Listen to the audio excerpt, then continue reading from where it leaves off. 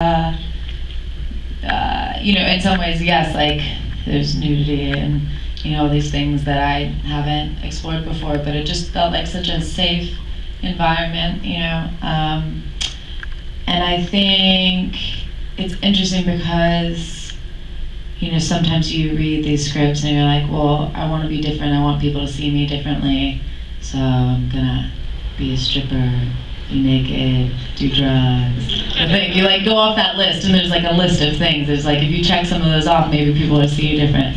But you need to have heart, and you need to have you know a story. Like it, you can't just like you know you can't you can't do things for shock value or anything like that. And I think what I just loved is like we had such intense conversations about like why and what and you know and, and some of the things that I touched on before and you know these these women are all like fierce smart women and you know it's just it's nice when you're in the company of of that kind of a team because it makes everything easier